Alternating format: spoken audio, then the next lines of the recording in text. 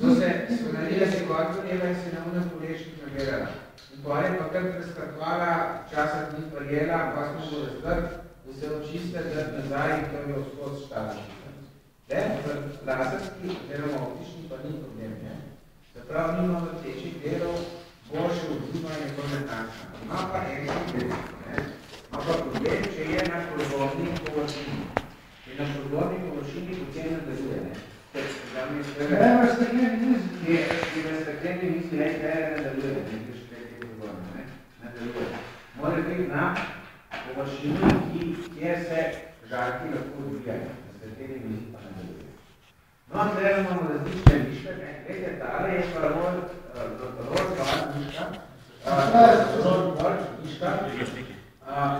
Stisnem ga že. Slikam, eh, snemam ga. Jaz sem, da to povem. Kroglico vrtiš, potem se pač prenašajo te koordinate. Ja, tole je malo eksotično. Tole je res. Tisto... Potem imate pa tere poveče, pa imate gumbe. Potem imate pa boljše, ko veš odstrani gumbe, pa take, ko odstrani lahko poveče premikaš, to so pa dodatne funkcije, ko si programiraš tako miško. Imaš skozi, recimo na internet, svoje, pa skozi pritisneš prvo strani, pa se tako internet vse. Kaj je pa tole? Tole je pa sprejetnik za težično. Ne, to je sprejetnik za težično miško, ki je na 2,4 giga. Imamo pa tudi take miške, ki pa nima tega sprejemnika, ampak pa Bluetooth dodajni in v prenosnikih ima skoro vsi Bluetooth sprejemnike. Vete, zdaj to vzemite zvezke, pa boste prepisali, da ne boste Oj, se ura. Pero vprašanje, ko vam bom izgledal, tu mes. In bo prepisal, lahko potem gre. Zdaj samo še tri minute.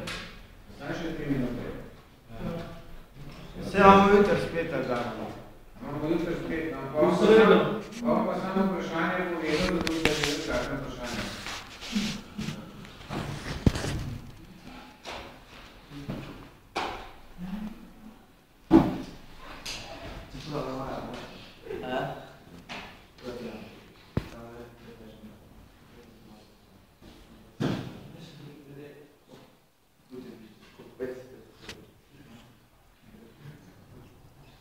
Evo.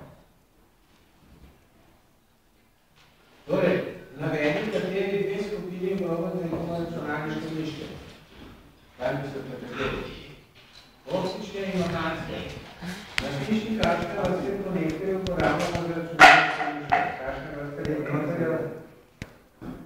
Imamo PS2, to je tisto okrogu tam mal. PS2 je najboljši. Še 1, 2, 3, 2, to se pravi serijski. Potem najnovejše imajo pa USB. USB spred vizen. USB. Kaj pa se? Bolj so PS2, kadar vidiš, da se nalagaš dosti kako USB polke nagaja. Ja. Ja. No, jaz sem se ampak kaj delamo. Kakšno vrsto brežične povezave uporablja računalniške miške? Namreč nekaj, če vi nimate USB driverjev, ko inštalirate računalnik, potem bi miška na to delala.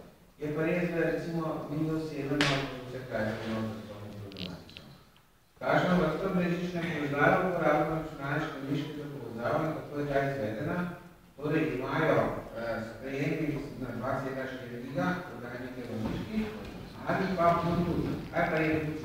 Brežična povezava. Torej, električna povezava za telefonijo in računalnik 110 km ima pa naj pomoč, prav se pa pokazuje od printerja do skenerja, do miške, do vsega. Tako da druge računalniške miške na klopico.